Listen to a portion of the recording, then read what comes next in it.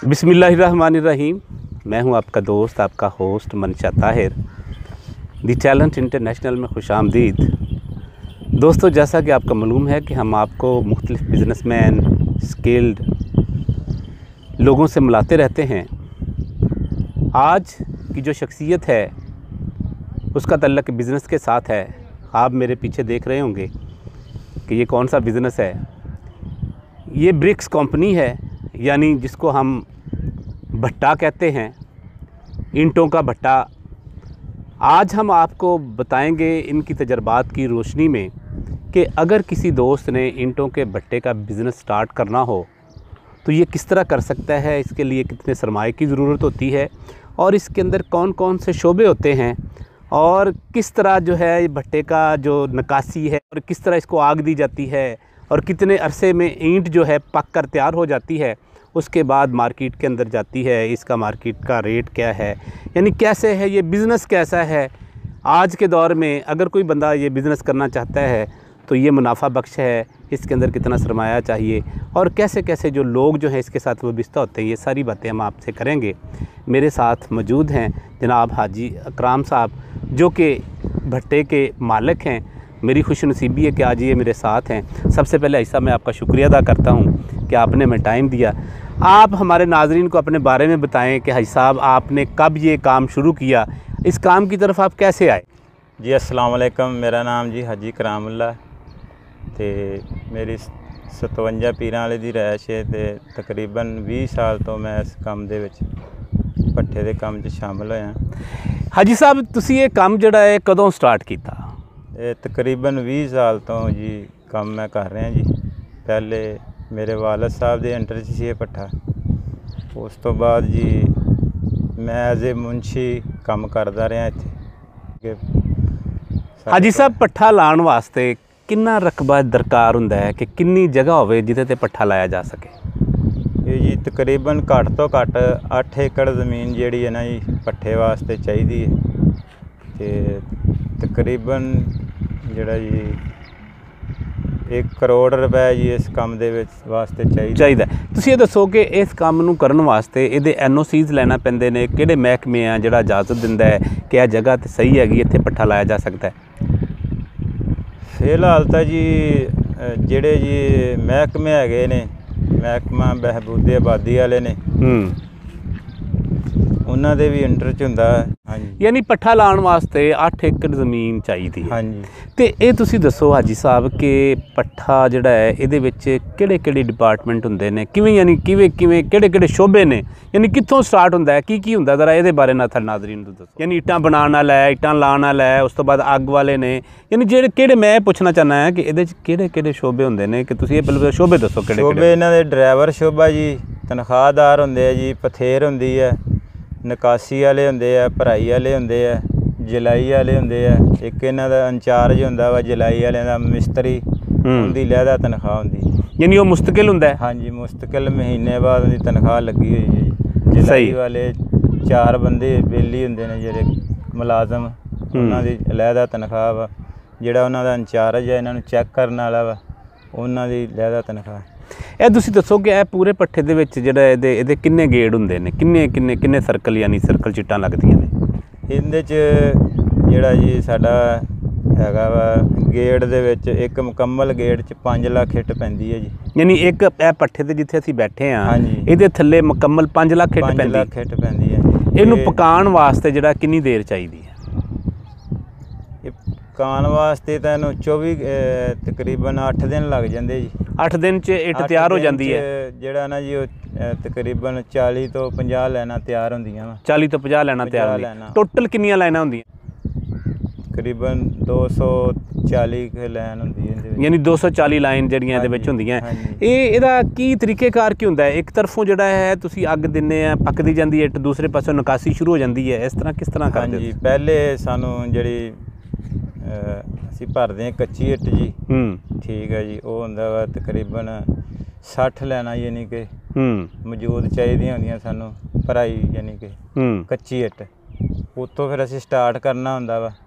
ਅੱਗੇ ਅੱਗੇ ਅਸੀਂ ਜਿਹੜੀ ਕੱਚੀ ਇੱਟ ਭਰਦੇ ਜਾਂਦੇ ਤੇ ਮਗਰੋਂ ਪੱਕਦੀ ਜਾਂਦੀ ਅੱਗੋਂ ਅਸੀਂ ਭਰਦੇ ਜਾਂਦੇ ਉਸ ਤੋਂ ਬਾਅਦ 50 ਲੈਣਾ ਤੋਂ ਬਾਅਦ ਅਸੀਂ ਜਿਹੜੀ ਨਿਕਾਸੀ ਸ਼ੁਰੂ ਕਰ ਲੈਂਦੇ ਆ ਪੱਕੀ ਇੱਟ ਦੀ। ਅੱਛਾ। ਉਹ ਨਿਕਾਸੀ ਸ਼ੁਰੂ ਹੋ ਜਾਂਦੀ ਹੈ। ਹਾਂਜੀ ਪਿੱਛੋਂ ਪੱਕੀ ਨਿਕਲਣੀ ਸ਼ੁਰੂ ਹੋ ਜਾਂਦੀ ਹੈ ਅੱਗੇ ਅੱਗੇ ਪੱਕਦੀ ਜਾਂਦੀ ਹੈ ਜਿਸ ਤਰ੍ਹਾਂ ਯਾਨੀ ਅੱਗੇ- ਸਰਕਲ ਦੇ ਵਿੱਚ ਰਾਉਂਡ ਚੱਲਦਾ ਸਾਰਾ ਯਾਨੀ ਸਿਲਸਿਲਾ। ਬ- ਇੰਝ ਚੱਲਦਾ ਤੇ ਜਾਂਦਾ ਅੱਜ ਕੱਲ ਸੁਣਿਆ ਹੈ ਕਿ ਜਿਹੜਾ ਨਾ ਜੀ ਆਪਣਾ ਮਹਿਕਮਾ ਬਹਿਬੂਦ ਆਬਾਦੀ ਹੈ ਜਾਂ ਤੁਹਾਡਾ ਜਿਹੜਾ ਮਹਿਕਮਾ ਹੈ ਉਹਨੇ ਕਿਹਾ ਕਿ ਜਿਹੜਾ ਧੂਆਂ ਜਿਹੜਾ ਹੈ ਇਹ ਸਹੀ ਨਹੀਂ ਹੈਗਾ ਆਬਾਦੀ ਵਾਸਤੇ। ਉਹਦੇ ਵਾਸਤੇ ਅੱਜ ਕੱਲ ਕੀ ਤੁਸੀਂ ਕੀਤਾ ਹੋਇਆ ਹੈ? ਉਹਦੇ ਵਾਸਤੇ ਹਕੂਮਤ ਨੇ ਸਾਨੂੰ ਇਹ ਨਵਾਂ ਦਿੱਤਾ ਜੀ ਬਲੋਰ ਸਿਸਟਮ ਅੱਛਾ। ਇਹ ਚਲਾਓ। ਇਹ ਉਹਦੇ ਵਾਸਤੇ ਬੈਸਟ ਹੈਗਾ ਬਿਹਤਰ ਹੈਗਾ ਵਾ। ਯਾਨੀ ਬਲੋਰ ਅਗਰ ਲੱਗਿਆ ਹੋਏਗਾ ਤੇ ਧੂਆਂ ਜਿਹੜਾ ਵਾਈਟ ਹੋ ਜਾਏਗਾ ਉਹ ਜਨ ਨਹੀਂ ਉਹ ਜ਼ਿਆਦਾ ਨੁਕਸਾਨਦੇ ਨਹੀਂ ਹੋਏਗਾ। ਹਾਂਜੀ, ਜ਼ਹਿਰੀਲਾ ਨਹੀਂ ਹੋਏਗਾ ਧੂਆਂ। ਜ਼ਹਿਰੀਲਾ ਨਹੀਂ ਹੋਏਗਾ। ਹਾਂਜੀ। ਤੇ ਤੁਸੀਂ ਆਪਣੇ ਪੱਠੇ ਦੇ ਉੱਤੇ ਉਹ ਸਾਰੇ ਕੰਮ ਕਰ ਹਾਂਜੀ, ਲਿੱਤੇ ਹੋਏ ਉਹ ਆ? ਸਾਰਾ ਕਾਨੂੰਨੀ ਤੌਰ ਜਿਵੇਂ ਜੋ ਵੀ ਹੈ ਅਸੀਂ ਉਹ ਕਾਰਵਾਈ ਪੂਰੀ ਕੀਤੀ ਹੋਈ ਪੂਰੀ ਕੀਤੀ ਹੋਈ ਤੁਸੀਂ ਇਹਦੇ ਤੇ। ਜਦੋਂ ਤੋਂ ਸਾਨੂੰ ਇਜਾਜ਼ਤ ਮਿਲੀ ਹੈ ਬਲੋਰ ਚਲਾਉਣ ਦੀ ਵੀ ਬਲੋਰ ਚਲਾ ਕੇ ਤੁਸੀਂ ਪੱਠਾ ਚਲਾ ਸਕਦੇ ਆ ਅਸੀਂ 5 ਮਿੰਟ ਵੀ ਬਲੋਰ ਤੋਂ ਬਗੈਰ ਪੱਠਾ ਨਹੀਂ ਚਲਾਇਆ। ਹਾਜੀ ਸਾਹਿਬ ਤੁਹਾਨੂੰ ਕਿ 20 ਸਾਲ ਹੋ ਗਏ ਕੰਮ ਕਰਦੇ ਜੀ। ਤੇ ਮਾਸ਼ਾਅੱਲਾ ਜਿਹੜਾ ਨਾ ਜੀ ਹੁਣ ਤੁਸੀਂ ਪੱਠੇ ਦਾ ਕੰਮ ਕਰ ਰਹੇ ਹੋ ਜੀ ਜੀ। ਤੁਸੀਂ ਇਹ ਦੱਸੋ ਕਿ ਅਗਰ ਕੋਈ ਦੋਸਤ ਜਿਹੜਾ ਨਾ ਜੀ ਇਸ ਵੇਲੇ ਪੱਠਾ ਲਾਣਾ ਚਾਹੁੰਦਾ ਹੈ ਤੇ ਪੱਠੇ ਦੀ ਕਿੰਨੀ ਇਨਵੈਸਟਮੈਂਟ ਹੋਣੀ ਚਾਹੀਦੀ ਬੰਦੇ ਕੋਲੇ ਜਿਹੜਾ ਨਾ ਜੀ ਬੰਦਾ ਜਿਹੜਾ ਨਾ ਜੀ ਪੱਠਾ ਲਾ ਲੇ? ਇਸ ਟਾਈਮ ਜੋ ਹਕੂਮਤ ਪਾਕਿਸਤਾਨ ਦੀ ਤਰਫੋਂ ਨਵਾਂ ਟੈਕਨੋਲੋਜੀ ਨਿਕਲੀ ਜ਼ਿਗਜ਼ੈਗ ਹੂੰ। ਉਹਦੇ ਵਾਸਤੇ ਜਿਹੜਾ ਜੀ 1.5 ਕਰੋੜ ਰੁਪਏ ਜਿਹੜੀ ਅਮਾਉਂਟ ਹੋਣੀ ਚਾਹੀਦੀ ਬੰਦੇ ਕੋਲੇ। ਹੂੰ ਹੂੰ ਹੂੰ। ਘੱਟ ਤੋਂ ਘੱਟ। ਤੇ ਪੱਠਾ ਲਾ ਸਕਦਾ ਉਹ? ਪੱਠਾ ਲਾ ਸਕਦਾ। ਉਹਦੇ ਚ ਜ਼ਮੀਨ ਆਪਣੀ ਹੋਣੀ ਚਾਹੀਦੀ ਜਾਂ ਠੇਕੇ ਤੇ ਲੈ ਸਕਦਾ ਉਹ? ਜ਼ਮੀਨ ਇਹ ਠੇਕੇ ਤੇ ਵੀ ਮਿਲ ਜਾਂਦੀ ਹੈ। ਤੇ ਆਪਣੀ ਵੀ ਹੋਵੇ ਤੇ ਆਪਣੀ ਜ਼ਿਆਦਾ। ਵੀ ਮਿਲ ਜਾਂਦੀ। ਆਪਣੀ ਤੁਸੀਂ ਜੇ ਤੁਹਾਡੇ ਕੋਲ ਹੈ ਗੁੰਜਾਇਸ਼ ਹੂੰ ਹੂੰ। 8 ਏਕੜ ਜ਼ਮੀਨ ਚਾਹੀਦੀ ਹੈ।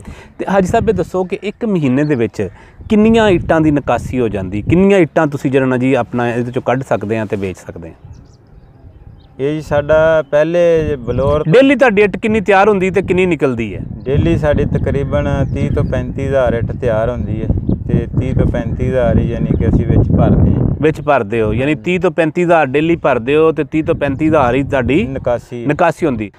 ਹਾਜੀ ਸਾਹਿਬ ਤੁਸੀਂ ਦੱਸਿਆ ਹੈ ਕਿ ਇਹ ਕਰੋੜ ਰੁਪਏ ਦੀ ਸਰਮਾਇਆਕਾਰੀ ਨਾਲ ਤੁਸੀਂ ਪੱਠੇ ਦਾ ਬਿਜ਼ਨਸ ਕਰ ਸਕਦੇ ਜੀ ਆ ਜੀ। ਤੇ ਇਹ ਤੁਸੀਂ ਮੈਨੂੰ ਦੱਸੋ ਕਿ ਪਰ ਮੰਥ ਜਿਹੜਾ ਨਾ ਜੀ ਬੰਦਾ ਕਿੰਨਾ ਕੁ ਕਮਾ ਸਕਦਾ ਹੈ? ਜੀ ਪਰ ਮੰਥ ਜੀ ਤਕਰੀਬਨ 2 ਤੋਂ 2.5 ਲੱਖ ਰੁਪਏ। ਅਸੀਂ ਕਮਾ ਸਕਦੇ ਬੱਚਤ, ਹਾਂ। ਹਾਂਜੀ। ਅਗਰ ਕੰਮ ਚੱਲਦਾ ਰਵੇ 2.5 ਹਾਂਜੀ, ਲੱਖ ਕੰਮ ਰੁਪਇਆ। ਚੱਲਦਾ ਰਵੇ ਤੇ ਅ, 2 ਤੋਂ 2.5 ਲੱਖ ਜੀ ਜੀ। ਕਰ ਸਕਦੇ ਤੁਸੀਂ ਇਹ ਦੱਸੋ ਕਿ ਤੁਸੀਂ ਇਹ ਕੰਮ ਜਦੋਂ ਸਟਾਰਟ ਕੀਤਾ ਤੇ ਕਿੰਨੇ ਤੋਂ ਕੀਤਾ ਸੀ? ਇਹ ਅਸੀਂ ਤਕਰੀਬਨ 2000 20 ਸਾਲ ਪਹਿਲੇ ਸਟਾਰਟ ਕੀਤਾ ਸੀ ਅਸੀਂ ਜੀ 5 ਲੱਖ ਨਾਲ। 5 ਲੱਖ ਨਾਲ। ਹਾਂਜੀ। ਤੇ ਤੁਸੀਂ ਇਹ ਦੱਸੋ ਕਿ ਇਸ ਵੇਲੇ ਤੁਹਾਡਾ ਇਹ ਬਿਜ਼ਨਸ ਕਿੱਥੇ ਤੱਕ ਪਹੁੰਚ ਚੁੱਕਿਆ ਹੈ? ਇਸ ਟਾਈਮ ਤਕਰੀਬਨ ਕਰੋੜ ਰੁਪਏ ਦੇ ਵਿੱਚ ਯਾਨੀ ਕਿ ਯਾਨੀ ਇਹਦਾ ਮਤਲਬ ਹੋਇਆ ਕਿ ਇਹ ਬਿਜ਼ਨਸ ਬਹੁਤ ਚੰਗਾ ਹੈ। 5 ਲੱਖ ਤੋਂ ਸਟਾਰਟ ਹੋਣ ਵਾਲਾ ਬਿਜ਼ਨਸ 1 ਕਰੋੜ ਤੱਕ ਪਹੁੰਚ ਚੁੱਕਿਆ ਹੈ। ਹਾਂਜੀ ਹਾਂਜੀ। ਤੇ ਤੁਸੀਂ ਕੀ مشਵਰਾ ਦਿਓਗੇ ਸਾਡੇ ਦੋਸਤਾਂ ਨੂੰ ਕਿ ਇਹ ਬਿਜ਼ਨਸ ਕਰਨਾ ਚਾਹੀਦਾ ਹੈ? ਜੀ ਕੰਮ ਕਰਨਾ ਚਾਹੀਦਾ ਵਾ। ਕੰਮ ਕੋਈ ਵੀ ਹੈ ਅੱਛਾ ਹੁੰਦਾ ਵਾ। ਬਾਕੀ ਇਹ ਵੀ ਪੱਠੇ ਦਾ ਕੰਮ ਮਾਸ਼ਾਅੱਲਾ ਬਹੁਤ ਠੀਕ ਹੈ ਇਹਦੇ ਵਾਸਤੇ ਜਿਹੜਾ ਵਾ ਟਾਈਮਿੰਗ ਬਹੁਤ ਜ਼ਰੂਰੀ ਬਹੁਤ ਜ਼ਰੂਰੀ ਤੁਸੀਂ ਦੱਸੋ ਕਿ ਤੁਹਾਨੂੰ ਇਹ ਕੰਮ ਕਰਨ ਵਾਲੇ ਬੰਦੇ ਜਿਹੜੇ ਆ ਇਹ ਆਸਾਨੀ ਨਾਲ ਮਿਲ ਜਾਂਦੇ ਨੇ? ਮੈਨੂੰ ਇਹ ਪਤਾ ਲੱਗਿਆ ਹੈ ਕਿ ਇਹਨਾਂ ਨੂੰ ਤੁਹਾਨੂੰ ਐਡਵਾਂਸ ਪੈਸੇ ਵੀ ਦੇਣੇ ਪੈਂਦੇ। ਇਹਦਾ ਤਰੀਕੇਕਾਰ ਕੀ ਹੁੰਦਾ ਜੀ ਇਹ ਜਿਹੜੀ ਲੇਬਰ ਰੱਖਣੀ ਹੁੰਦੀ ਜੀ ਇਹ ਬਹੁਤ ਮੁਸ਼ਕਲ ਰੱਖਣੀ ਪੈਂਦੀ ਹੈ। ਇਹਨਾਂ ਦੀ ਡਿਮਾਂਡ ਬਹੁਤ ਹੁੰਦੀ ਹੈ। ਹੂੰ। ਠੀਕ ਹੈ ਜੀ। ਸੈਲਰੀ ਤੋਂ ਇਲਾਵਾ ਜਿਹੜਾ ਇਹਨਾਂ ਦੀਆਂ ਬਹੁਤ ਡਿਮਾਂਡਾਂ ਹੁੰਦੀਆਂ ਵਾ ਹੂੰ। ਜ਼ਰੂਰਤਾਂ ਹੁੰਦੀਆਂ ਸਾਨੂੰ ਪੂਰੀਆਂ ਕਰਨੀਆਂ ਪੈਂਦੀਆਂ। ਤੇ ਪੇਸ਼ਗੀ ਵਗੈਰਾ ਯਾਨੀ ਕਿ ਐਡਵਾਂਸ ਸਾਨੂੰ ਤੁਹਾਨੂੰ ਦੇਣਾ- ਪੈਸੇ ਦੇਣੇ ਪੈਂਦੇ ਦੇਣਾ ਪੈਂਦਾ ਜੀ। ਠੀਕ। ਤੇ ਇੱਥੇ ਤੁਸੀਂ ਤੁਹਾਨੂੰ ਰੈਸ਼ ਵੀ ਦੇਣੀ ਪੈਂਦੀ ਹੈ? ਰੈਸ਼ ਵੀ ਦੇਣੀ ਪੈਂਦੀ ਜੀ। ਰੈਸ਼ ਵੀ ਦੇਣੀ ਪੈਂਦੀ ਹੈ। ਹਾਂਜੀ। ਅਜੀ ਸਾਹਿਬ ਇਹ ਲੱਕ- ਜਿਹੜਾ ਇੱਟ ਦੀ ਪਕਾਈ ਹੁੰਦੀ ਹੈ ਜੀ। ਇਹਦੇ ਵਾਸਤੇ ਕਿਹੜੀ ਕਿਹੜੀ ਚੀਜ਼ ਦੀ ਜ਼ਰੂਰਤ ਹੁੰਦੀ ਹੈ? ਇਹਦੇ ਵਾਸਤੇ ਜੀ ਕੋਲਾ ਬੂਰਾ ਵਗੈਰਾ ਲੱਕੜੀ ਤੇ ਹੋਰ ਤਿੰਨ ਚਾਰ ਕਿਸਮ ਦੇ ਮਸਾਲਾ ਜਾ ਅਜੀ ਸਾਹਿਬ ਤੁਸੀਂ ਇਹ ਦੱਸੋ ਕਿ ਅੱਜ ਕੱਲ ਇੱਟ ਜਿਹੜੀ ਹੈ ਉਹਦੇ ਵਾਸਤੇ ਮਸ਼ੀਨਾਂ ਵੀ ਆਈਆਂ ਨੇ ਤੇ। ਹੱਥਾਂ ਨਾਲ ਵੀ ਬਣਾਉਂਦੇ ਨੇ। ਤੁਸੀਂ ਦੋਨੋਂ ਕਿਸਮ ਦੀ ਬਣਾਉਂਦੇ ਆ ਜਾਂ ਇੱਕ ਕਿਸਮ ਦੀ ਬਣਾਉਂਦੇ ਆ ਜੀ ਜ਼ਰੂਰਤ ਪੂਰੀ ਕਰਨ ਵਾਸਤੇ ਕਿਉਂਕਿ ਲੇਬਰਾਂ ਜਿਹੜੀਆਂ ਜ਼ਰੂਰਤ ਨਹੀਂ ਪੂਰੀ ਕਰਦੀਆਂ ਹੂੰ ਉਹਨਾਂ ਦੀਆਂ ਡਿਮਾਂਡ ਹੀ ਯਾਨੀ ਕਿ 100 ਘਰੇਲੂ ਮਾਮਲਾਤ ਮਜਬੂਰੀਆਂ ਹੁੰਦੀਆਂ ਉਹਦੀ ਮੱਦੇ ਨਜ਼ਰ ਰੱਖਦੇ ਆ ਸਾਨੂੰ ਜਿਹੜਾ ਮਸ਼ੀਨ ਹੈ ਨਾ ਜੀ ਇਹ ਪੱਠੇ ਵਾਲੇ ਵਾਸਤੇ ਮਜਬੂਰੀ ਬਣ ਗਈ ਮਜਬੂਰੀ ਬਣ ਗਈ। ਹਾਂਜੀ ਲੇਬਰਾਂ ਜਿਹੜੀਆਂ ਉਹ ਸਹੀ ਕੰਮ ਨਹੀਂ ਤੁਸੀਂ ਕਰਦੀਆਂ ਦੱਸੋ ਕਿ ਮਸ਼ੀਨ ਵਾਲੀ ਇੱਟ ਨੂੰ ਜ਼ਿਆਦਾ ਪਸੰਦ ਕੀਤਾ ਜਾਂਦਾ ਹੈ ਜਾਂ ਹੱਥ ਵਾਲੀ ਨੂੰ ਪਸੰਦ ਕੀਤਾ ਜਾਂਦਾ ਹੈ? ਬਾਹਰਲੇ ਸ਼ਹਿਰਾਂ ਦੇ ਵਿੱਚ ਲੋਕ ਜਿਹੜੇ ਨਾ ਜੀ ਉਹ। ਮਸ਼ੀਨੀ ਇੱਟ ਨੂੰ ਜ਼ਿਆਦਾ ਪਸੰਦ ਕਰਦੇ ਤੇ ਆਪਣੇ ਇੱਥੇ ਜਿਹੜਾ ਹੈ ਹੂੰ। ਮੁਕਾਮੀ ਲੋਕ ਜਿਹੜੇ ਉਹ ਜ਼ਿਆਦਾਤਰ ਹੱਥ ਵਾਲੀ ਇੱਟ ਨੂੰ ਪਸੰਦ ਕਰਦੇ। ਭਾਈ ਸਾਹਿਬ ਤੁਸੀਂ ਮੈਨੂੰ ਦਿਖਾਓ ਮਸ਼ੀਨ ਵਾਲੀ ਇੱਟ ਕਿਹੜੀ ਤੇ ਹੱਥ ਵਾਲੀ ਇੱਟ ਕਿਹੜੀ ਹੈ? ਇਹ ਜ਼ਰਾ ਪਲੀਜ਼ ਇਹ ਤਾਂ ਸਾਨੂੰ ਦੱਸੋ ਜ਼ਰਾ। ਇਹ ਮਸ਼ੀਨ ਵਾਲੀ ਇੱਟ ਹੈ ਜੀ। ਅੱਛਾ ਇਹ ਮਸ਼ੀਨ ਵਾਲੀ ਇੱਟ ਹੈਗੀ ਹਾਂਜੀ। ਅੱਛਾ। ਤੇ ਹੱਥ ਵਾਲੀ ਇੱਟ ਪਲੀਜ਼ ਇਹ ਵੀ ਜ਼ਰਾ ਦੱਸੋ ਦਿਖਾਓ ਇਹ ਜ਼ਰਾ। ਹੱਥ ਵਾਲੀ ਇੱਟ ਹੈ ਯਾਨੀ ਇਹ ਹੱਥ ਵਾਲੀ ਇੱਟ ਹੈਗੀ ਹੈ ਤੁਹਾਡੀ ਜਿਹੜੀ ਹੱਥ ਨਾਲ ਬਣਦੀ ਹੈ। ਇੱਕ ਹੋਰ ਚੀਜ਼ ਦੱਸੋ ਕਿ ਕਿਉਂਕਿ ਬਾਜ਼ ਕਾਜ ਜਿਹੜਾ ਨਾ ਜੀ ਲੋਕ ਇੱਕ ਨੰਬਰ ਦੀ ਜਗ੍ਹਾ ਤੇ ਦੋ ਨੰਬਰ ਇੱਟ ਦੇ ਦਿੰਦੇ ਨੇ। ਉਹ ਕਿਸ ਤਰ੍ਹਾਂ ਕੋਈ ਬੰਦਾ ਪਹਿਚਾਨੇਗਾ ਕਿ ਇਹ ਦੋ ਨੰਬਰ ਇੱਟ ਤੇ ਇੱਕ ਨੰਬਰ ਇੱਟ ਹੈ ਜ਼ਰਾ ਇਹ ਵੀ ਤੁਸੀਂ ਦੱਸੋ ਸਾਡੇ ਨਾਜ਼ਰੀਨ। ਇਹ ਦੇਖੋ ਜੀ ਇਹ ਇੱਕ ਨੰਬਰ ਇੱਟ ਹੈ ਜੀ। ਇਹ ਤੁਹਾਡੇ ਸਾਹਮਣੇ। ਅੱਛਾ ਇਹਨੂੰ ਜ਼ਰਾ ਖੜਕਾਓ ਨਾ ਪਤਾ ਇਹ ਆਵਾਜ਼ ਕੇ ਅੱਛਾ ਇਹਦੀ ਆਵਾਜ਼ ਆਏਗੀ ਇੱਕ ਨੰਬਰ ਇੱਟ ਹੈਗੀ। ਜੀ ਇਹ ਇੱਕ ਨੰਬਰ ਇੱਟ ਹੈ। ਅੱਛਾ। ਤੇ ਇਹ ਦੋ ਦੋ- ਨੰਬਰ ਦੀ? ਇਹ ਦੋ ਨੰਬਰ। ਹਾਂ ਇਹਦੀ ਆਵਾਜ਼ ਹੀ ਹੋਰ ਚੇਂਜ ਹੋ ਜਾਂਦੀ ਹੈ। ਹਾਂਜੀ। ਅੱਜ ਕੱਲ ਵੈਸੇ ਤੁਹਾਡਾ ਮੌਜੂਦਾ ਰੇਟ ਕੀ ਹੈਗਾ ਇੱਟ ਦਾ? ਮੌਜੂਦਾ ਰੇਟ ਫਿਲਹਾਲ ਇੱਥੇ ਜਿਹੜਾ ਚੱਲ ਰਿਹਾ ਵਾ ਉਹ ਹੈ ਤਕਰੀਬਨ 6500 6600 65 ਤੋਂ 6600 ਇੱਥੇ ਇੱਥੇ ਚੱਲਦਾ ਪਿਆ। ਠੀਕ ਹੈ। ਤੇ ਲੇਕਿਨ ਕਿਉਂਕਿ ਹਰ ਸ਼ਹਿਰ ਦਾ ਰੇਟ ਆਪਣਾ ਆਪਣਾ ਹੁੰਦਾ ਹੈ ਅਗਰ ਤੁਹਾਡੇ ਨਾਲ ਕੋਈ ਡੀਲ ਕਰਦਾ ਤੁਸੀਂ ਇਹਦੇ ਰਿਗਾਰਡਿੰਗ ਹੀ ਡੀਲ ਕਰੋਗੇ ਇਹਦੇ ਤੇ ਹੀ? 65 6600 ਤੇ 7000 ਤੇ? ਨਹੀਂ ਜਿਹੜਾ ਜੀ ਹੁੰਦਾ ਨਾ ਮੌਕਾ ਰੇਟ ਹੁੰਦਾ ਵਾ। ਹੂੰ। ਇਹ ਮੌਕਾ ਰੇਟ ਜਿਹੜਾ ਲੇਕਿਨ ਉਹਦੇ ਤੇ ਟਰਾਂਸਪੋਰਟੇਸ਼ਨ ਜ਼ਿਆਦਾ ਵਾ- ਹਾਂਜੀ, ਉਹਦੇ ਵਾਜੇਗੀ। ਵਿੱਚ ਯਾਨੀ ਕਿ ਕਿਰਾਇਆ ਵਗੈਰਾ ਹੂੰ ਹੂੰ। ਵਾਜੇਗਾ ਮਜ਼ਦੂਰੀ ਵਾਜੇਗੀ ਅੱਛਾ, ਅੱਛਾ। ਲੋਡਿੰਗ ਵਗੈਰਾ। ਲੋਡਿੰਗ ਅਨਲੋਡਿੰਗ ਜਿਹੜਾ ਨਾ ਜੀ ਵਾਜੇਗਾ।